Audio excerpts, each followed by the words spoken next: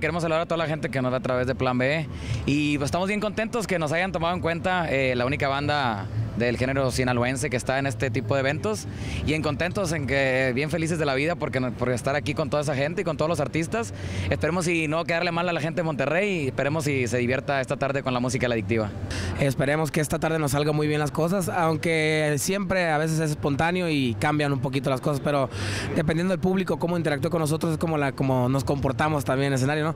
Creo que la adictiva se ha dedicado estos 24 años de carrera a dar lo mejor a la gente y espero que esta tarde no sea la excepción, ¿no? Eh, ayer descansamos y escuchamos algunos, algunos grupos locales que, son muy buenos. Este, el rock le gusta mucho a Isaac, que hoy está encantadísimo de estar acá en este gran festival. Eh, nosotros contentísimos también. Traemos, estamos promocionando el disco número 14, La Adictiva, eh, que contiene 13 temas, con compositores como el señor Horacio Palencia, Espinosa Paz, Gerardo Ortiz, Fabián Pacheco. Es un disco muy completo, algo diferente a los discos anteriores de La Adictiva. Vienen corridos, cumbias, románticas, viene un poquito de todo para bailar, pistear, conquistar a la pareja o la que no es pareja también.